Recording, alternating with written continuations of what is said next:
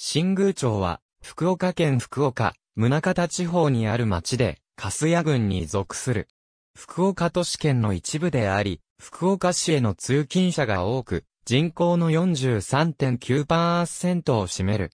これは、新宮町に住む人が、新宮町内で働く人の割合40.2%よりも高く、粕谷郡の中でも福岡市に依存している面が強い。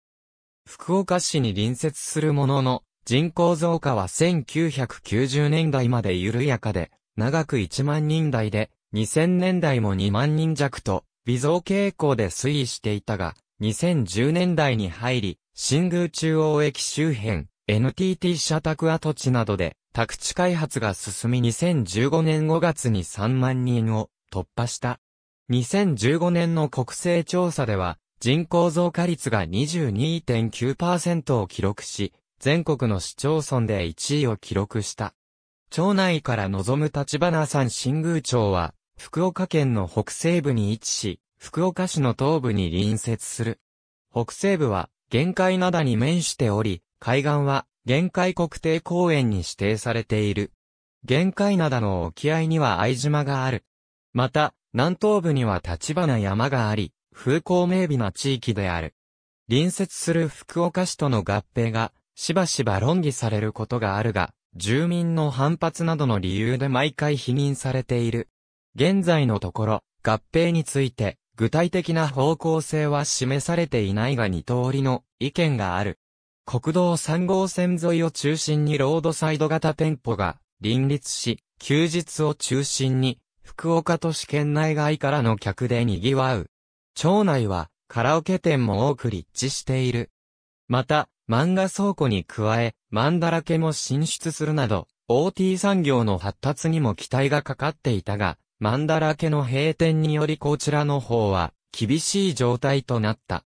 新宮中央駅周辺エリアでは、九州初出店となった、家具世界大手の IKEA をはじめ、周辺に、ニトリ、中村家具、サコダといった郊外型家具店、イケアのすぐ隣に進出したカインズナフコ港南など、ホームセンターが多く全国屈指の激戦区となっている。また、うどん店も多くこちらもローカル番組で特集されるなど激戦区として知られている。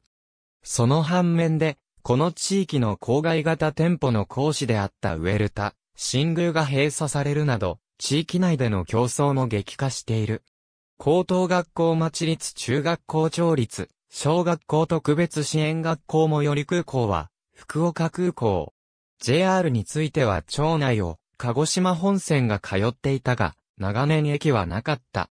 沖田土地区画整理事業、緑毛浜土地区画整理事業が決定し、これに合わせて、福光大前駅北側約 1.4km の地点に、新宮中央駅が開業した。南部の一部住民にとってはかつて、筑前新宮駅を名乗っていた、福光大前駅が近く、北部などの一部住民にとっては獅子部駅の方が近い。現在の福光大前駅は、もともと、新宮町に設置する予定だったが、当時の町の長老たちが反対し、福岡県粕谷郡和白村に、筑前新宮という駅名で設置した。西鉄貝塚線はかつて、宮地岳線と称し、2007年4月1日の宮地、学線区間廃止まで、西鉄新宮駅は、津屋崎駅へ至る道線の途中駅だった。高速道路、国道主要地方道一般県道新宮町へ、都線新宮、新宮海水浴場。ありがとうございます。